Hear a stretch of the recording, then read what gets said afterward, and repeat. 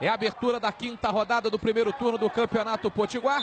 Quando autoriza o árbitro. Bola rolando para ABC e Globo.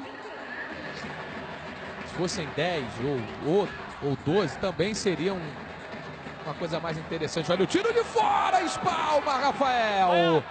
Caiu bem o goleiro do Globo. Em levantamento do Bismarck na primeira trave. Corte da zaga, Giovani com o rebote, pé canhoto, Giovani! Passa para fora, vai embora! Um chute meio despretensioso. Quem certamente estava preocupado em não ceder o contra-ataque para o rival. Bateu em gol!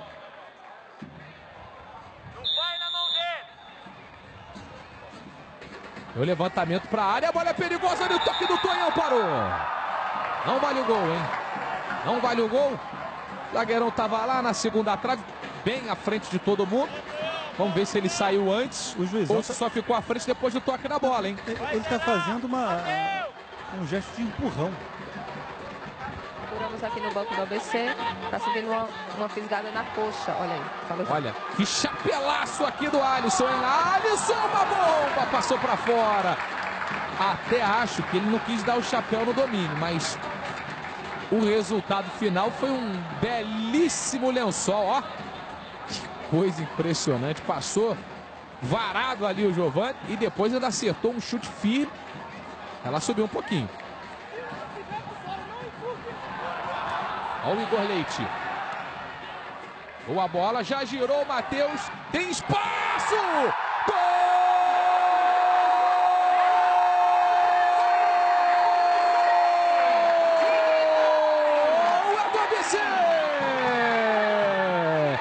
É do garoto de ouro, é do artilheiro do time, na primeira e única chance que ele teve no primeiro tempo, aos 47 e 30. Autoriza o árbitro, bola rolando para o segundo tempo, um para o ABC, zero para o Globo.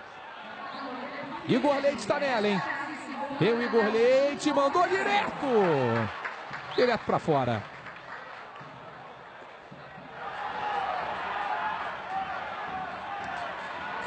Outra vez sai jogando errado o Globo. Areis recebeu de volta. Tá na linha de fundo. Areis que belo levantamento. Olha o toque de cabeça. Rebateu o goleiro. Deu rebote. Rafael bloqueando ali o chute do Alisson no rebote. E estão no mesmo grupo na Copa do Nordeste vão se enfrentar na Copa do Brasil. Olha agora o contra-ataque. A chance de fazer o segundo, bola para tirar bola pro Matheus! Gol!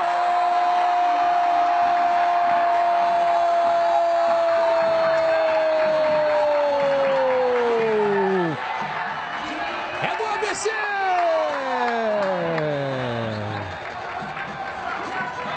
Dele de novo!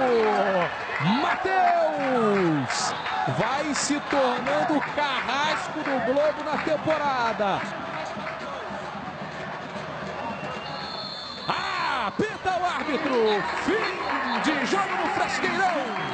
Dois para o ABC, dois gols do artilheiro do Brasil, Matheus. Zero para o Globo.